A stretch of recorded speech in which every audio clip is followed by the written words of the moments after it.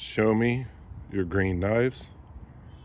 Open tag. I'm starting in honor of St. Patrick's Day. Show me your green knives. Oh, yes. I like the green knives. I have a green brain. Yes, I want to see the green knives. Some people call me pepper, but really inside I'm green. Yeah. Ooh, you look into my brain. I, I want to see green knives too. Green knives are freaking killer. Little leprechauns out there.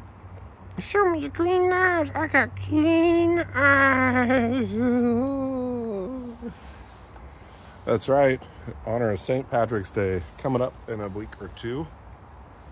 I want you to show me your green knives and green bobcats. Bobcats. Where are they? Bobcats. I think uh, Sean of Watch City Knives really enjoy this open tag. I bet he has more than a few knives. Sean jump in on this, and I'm sure he'll get a kick out of all these green knives. That's right, St. Patrick's Day. It's coming up um, about a week. So all you leprechauns out there, show me your green knives. Uh, I didn't realize I had so many green knives. I um, am going to break this up into two parts. Um, the first part is going to be 10 USA made green knives, and the second part will be 12 imported green knives.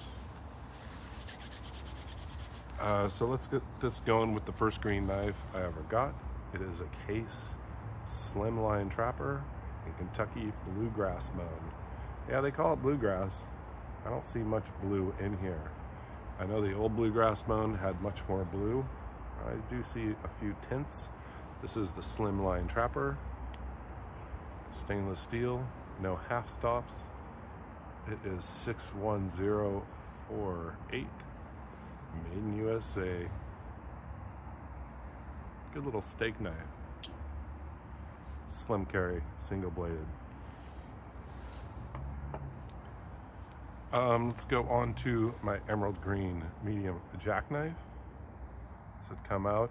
I really wanted to get a jackknife. Uh, the pictures made it look to be more of a dark emerald green. Um, all bone takes different. And this one, maybe the bone's just dry. Maybe I could add some oil and it'll darken it up. You got your clip point blade, your pen blade, kind of a bow tie shield there. No half stops. Really good snap. Small. I think it's like three and a quarter, three and an eighth. Just a little bit bigger than a peanut. Well, speaking of adding oil to knives, I picked uh, this emerald, excuse me, green apple bone mini copper lock. Love this green bone. So I like uh, flushed and lubed up the pivot. It was really smooth, but I just like to do that with my knives. And you can kind of see how the oil went into the bone up here and darkened it. So usually it looks like this, lighter green, and the oil really, really darkened it a bit. I'm sure it'll dry out. I could flush it out with uh, warm soapy water so I'm wondering if I do that to my emerald green, if it will darken it up. So be wary. Your dry bone will absorb oil and darken it. Kind of looks cool, it gives it some character. Let's go on to uh, my small swell center jack by Case. This is Hunter Deep Canyon green. See Case on the front bolster there, little three inch pocket knife. To me, this is like it almost is a peanut, but it's not. It's actually larger than a peanut. Cool clip point blade. You got your pen blade. It is 6225 and a half. Can't recall what the half means at this time. Really cool. Small pocket carry. Love the blue in there. Now the sun was out earlier which inspired me to do this video. of course, by the time we get set up and get out here, the sun's gone. Buck Slim Select. FRN handles. 420 Bos heat treated steel. Thumb stud, lock back. Bad frickin' ass pocket clip. Yeah, check that out. Is it a state? Is it an anvil?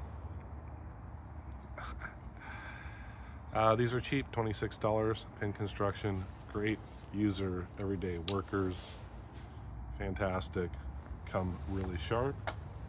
On that note, Buck Slim Pro TRX S30V olive drab G10 with the Torx screws. You got T6s, T8s holding it together. You got a nice pocket clip on this one. Great. Fantastic. EDC, lightweight, not necessarily traditional, kind of in between traditional and modern.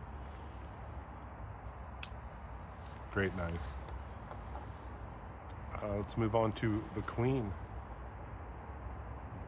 Green Jig Bone Barlow, made in USA. I'd say by Baron Son. Tins almost look exactly the same. The black slip it comes in, sheath, or pouch, excuse me, is exactly the same. You got 1095 carbon steel on the blade, Queen number 22. Great Barlow Finder, $55, Smoky Mountain Knife Works. This up for 46 and change in Chicago. Like it so much, I'm getting the red smooth bone. Queen is back. And let's move on to some lizard skins. You know, I just showed them the other day, but they're green. Tony Bose, Panama Trapper lizard skin. First lizard skin I got. I can't, you can't find them uh, on Shepherd Hills anymore. You can't find them on eBay. I think $125. Picked this up for 84 bucks. Beautiful California clip blade. Beautiful spay blade. Swedging all down the top. Awesome stainless steel with half stops.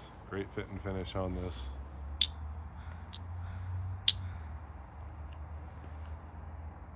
Beautiful. Panama Trapper. Really glad I picked this one up. Of course, another amazing deal. These are now available Shepherd Hills. It's exclusive. The lizard skin is Shepherd Hills exclusive. This is the Sodbuster Junior, $49.99. Great deal considering a lot of the Sodbusters are in the $60 range now. Awesome knife. A lot of you have already gotten this and then I picked this up the other day. This would be the lizard skin copperhead. Beautiful. Found this on eBay. Pretty decent deal on this one. Stainless steel. Got an awesome clip point blade. These are three and seven eighth inch closed. The good size pen blade, half stops, nice walk and talk. This one centering came absolutely perfect. Back springs look good. Thank you very much, case. Get a little bit more yellow brown in the edges here, in the bolsters. This is 2021. Lizard skin kind of has changed, depends on the pattern. They have uh, multiple ones at Shepherd, Shepherd Hills. Well, I think that's it. Show your green knives. Please show me your green knives. Yes. Hey, all the monsters are coming out. Trolley wants to see them all, so please show your green knives. They don't have to be USA made, they could be imported. Just show them. St. Patrick's Day is about a week away. Got my Lucille IPA. Cheers. Take care. Stay sharp. Take chances. Be kind.